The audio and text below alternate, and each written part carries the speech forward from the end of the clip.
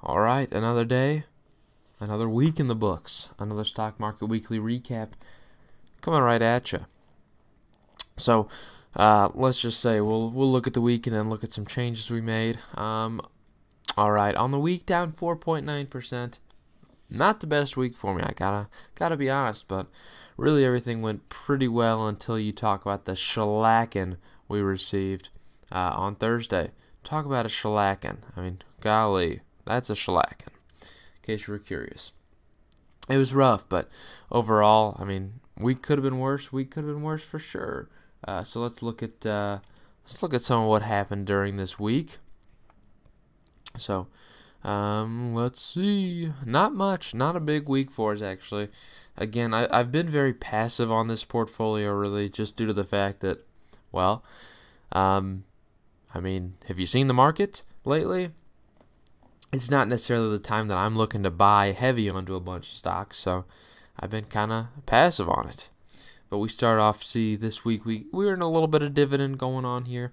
Analog devices only on one share of that, but uh, 62 cents, so that did get reinvested for 0.0049 shares. Hey, what can I say? One more like that, and I'll have 0.01 share, okay?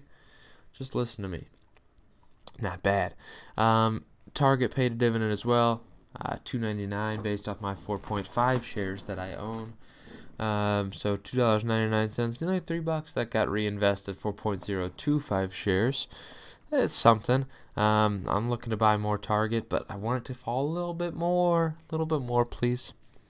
Um, I went ahead and I, uh, that's right, I purchased some shares of uh, ETFs, uh, KBWY, which is the premium yield equity REIT. I bought another fifty dollars worth, which is equivalent to two and a half shares. Uh, that's putting me total um, on this position right around five or ten shares, I should say. Uh, and KBWY um, or KBWD. This one, the other one's KBWY. Sorry, which is the high yield financial portfolio. Bought 3.7 shares, uh, which brings me to 10 on that one as well. Gotta love it. We'll take a look at that actually, because I wasn't, I don't remember. Um, but let's see, Global X Super Dividend Fund, which is DIV, um, paid 43 cents. It's a monthly payer. That got reinvested for 0.027. Nothing too crazy there. And Microsoft also paid a dividend uh, off my 4.32 shares. I got 221, which got reinvested for 0.01 share. So nothing crazy there. We'll look at that those additions to KBWY and KBWD real quick and see what they have to offer. Uh, let's see where you hide. So yeah, 9.81 shares of KBWD, 9.69 of KBWY. So be saying 10 shares, pretty accurate, right? Let's look at the M1 Finance portfolio. Well, first we gotta see all time. We gotta see all time on the Robinhood one, up 22.3 percent, um, up three thousand one hundred dollars on this one, uh, which I'll take. I bought a lot during this dip here, which helps quite a bit. Uh, overall, started this bad boy in 2017 of July, so like to see the improvement there. Um, for the M1 Finance portfolio, if we look uh, on the week, down 4.6 on this one. Not a beautiful time, I gotta be honest with you. It's not beautiful. Um, but could have been worse again. A little bit better than my um, M1 or my Robinhood portfolio, I should say really no major adjustments made to this one. I didn't really change anything, just a normal buy period. Um, so during the uh, week, let's see. During the week, we obviously had just one dividend uh, in Microsoft and a normal trading session. Uh, purchased some AT&T, Kohl's, Iron Mountain, a uh, little bit of Prospect Capital, and some of Brookfield Renewable uh, Energy Partners. Um, so yeah, nothing major here. Really, just five buys, nothing crazy. Overall, all time on this bad boy. If you look from a money weighted perspective, up 29.82. If you're looking just off of the holdings uh, in general, up 8.87, uh, which is an unrealized gain of right, around $927. So good all time. I'm pretty happy with that, um, especially for starting in 2018 with the dip we had. I'm okay with this. Uh, I've put a lot of money into this, and I'm looking to put a lot more. SEM1 portfolio. I really want to be the dominant portfolio of my two um, here in the future, and it kind of has been that way. I'm putting in $100 a week into this one and 50 into the other one, so eventually this one will outweigh that one. If we look at the markets compared to my portfolio, the Dow was down 5.5, so at least I outperformed the Dow on both of them, right? I mean, that's something, right? Um, but 5.5% uh, down on the Dow brings us year to date to 10.28% down, which is looking better. Uh, again, the recovery's been massive, so you expected a pullback. But I kind of knew in me, I knew this pullback wasn't going to last for long just because of the way this market's treating. It's so volatile. Some days are going to be massive downward movements, some days are going to be massive upwards movements. It's just so weird right now how this market's trading. Uh, and it'll be a while before we're done with it. But I think I do think overall we're going to trade flat for a little while here. At least a few months of trading completely flat. So just be anticipating that. I might buy some more. I'm waiting to buy. Um, the S&P 500 uh, on five day down 4.78, so right around my portfolios we're at.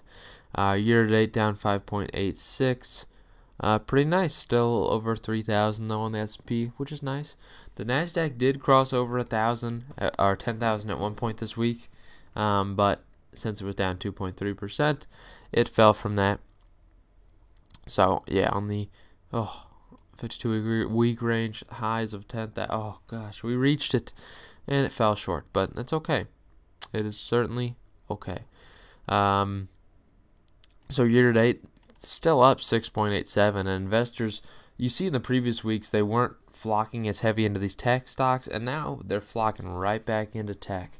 Um, and I think some of the reasoning behind that um, is going to be the fact that, well, I think we're a little bit more unsure again about everything going on.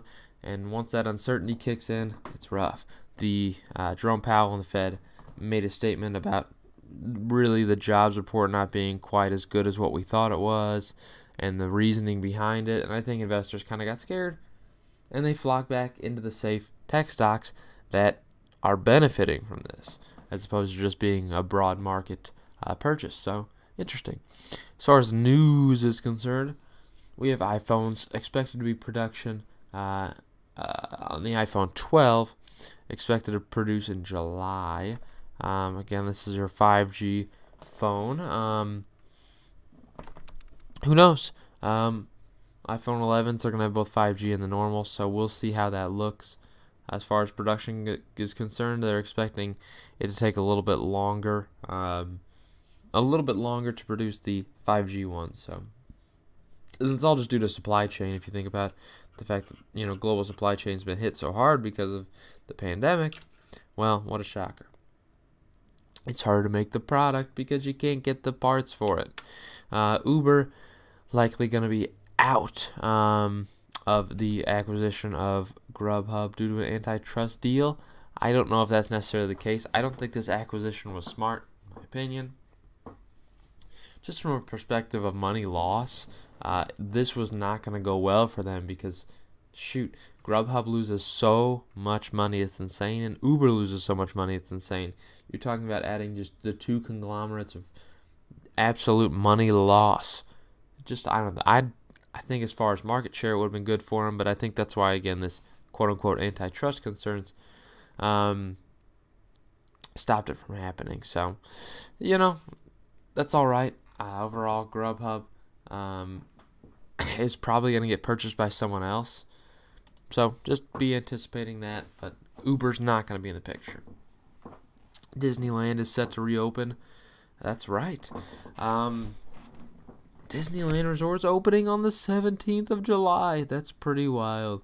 The 65th anniversary of the opening, so pretty significant date in that aspect. And there's a lot of restrictions, obviously, that come along with this as far as distancing and sanitation. So costs are going to be high, but overall, this is going to be a huge boon in revenue because they will be selling out their max capacity every single day. I'll just tell you that right now. I just know they will. You see the same thing from Disneyland in Shanghai. It's it's going to be the same thing here in the U.S. as people are locked up.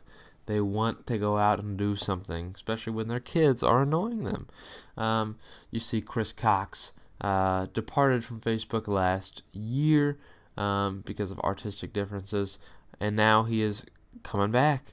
Um, he's coming back. Pretty cool for him as the chief product officer. Uh, he was pretty good for the company. I mean, overall, very trust trusted figure from Zuckerberg. So let's see what he can do. Obviously, to, to differentiate, but Facebook's just a beast. I mean, whoever you're putting in leadership, the top tier leadership in Zuckerberg and Sand, uh, Sheryl Sandberg, just I mean, they're too good. They're too good. Uh, we saw a massive video game report this month for May, and again, we anticipated it. Not quite as massive as you saw in April, but another just very good, uh, very good increase. 52% uh, overall increase. The best May since 2008. And again, I mentioned recessions are the best time for video game stocks. People are laid off and they need stuff to do. So people are buying video games and playing video games at unprecedented levels. Uh, that's why you see really these all correlate with recession times. Year to date, sales gain of 18% over 2019, which is a very down year, by the way, so very good to see that. Hardware sales were up 56%, uh, accessories rose 32%, and software rose 67%. Nice. Hardware sales led by the Nintendo Switch. What a shocker. Everyone's buying Switches. They're sold out everywhere. Uh, Beth, Beth, Beth and unit and dollar sales. I have a lisp all of a sudden. Um, they were the best since May 2009 sales of the Nintendo DS. Okay, I had a DS. There's no doubt about it. Um, the best selling accessory was the Xbox Elite Series 2 wireless controller. Good for them. Um, as far as software, Call of Duty Modern Warfare retook the number one spot on dollar sales, which is crazy. Um, I don't know. I think that's wild, but think about that. This number two is Grand Theft Auto 5. Again, what is going on? People buy Grand Theft Auto. I mean, hasn't everyone purchased Grand Theft Auto 5 at this point? I don't know. I guess you're including the GTA Online sales as well. I would assume the the micro purchases micro why can't I think of it? Micro purchases? Microtransactions. Oh he's done it. Uh, the brain just gave out on me. Uh, third it's going to be Animal Crossing New Horizons which people are obviously love it right? You got to love Animal Crossing. You get to live a second life pretty much. Uh, and NBA 2K20 not a great performance from 2K20 what can I say? Um, yeah, overall, very good video games reports. You see AT&T planning on potentially um, selling uh, its Warner Bros. video game unit. I mean, not necessarily the industry I'd be selling, but AT&T they're trying to refine their business, and I I kind of get that to an extent. I think you need to get rid of the cable business first, but you know what can I say? Um, but obviously Warner Bros. Uh, video game unit not that special, all things considered because they don't have that good of games. What can I say?